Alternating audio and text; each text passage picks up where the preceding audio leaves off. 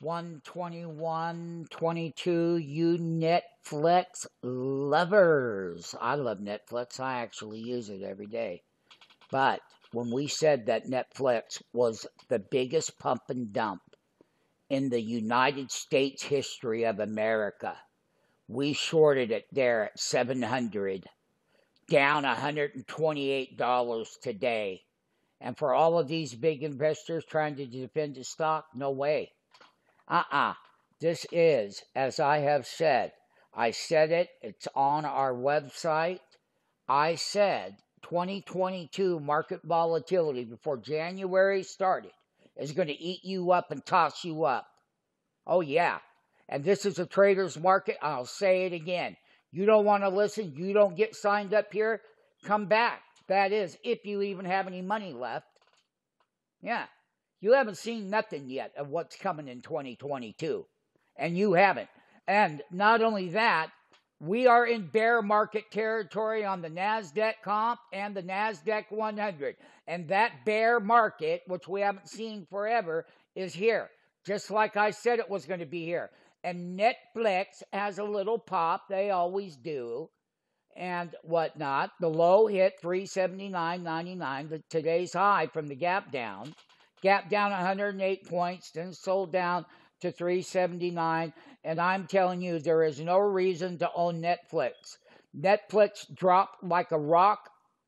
We had plenty of people that are in our trader network that was actually short Netflix for the right reasons. Pump and dump.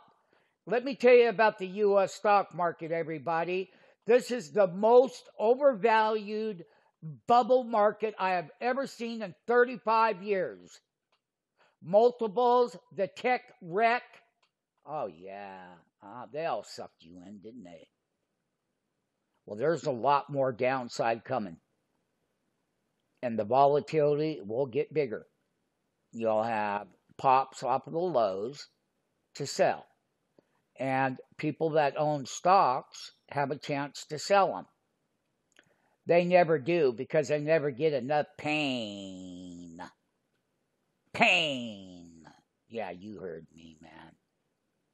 But somebody's making money on the other side of your pain, and that happens to be us. You make money when they drop like a rock. U.S. stock market, Dow Jones is about 5,000 points overvalued. Um, I can just say this and I said it before the year started. January effect. You went into a bear market in January in the NASDAQ comp.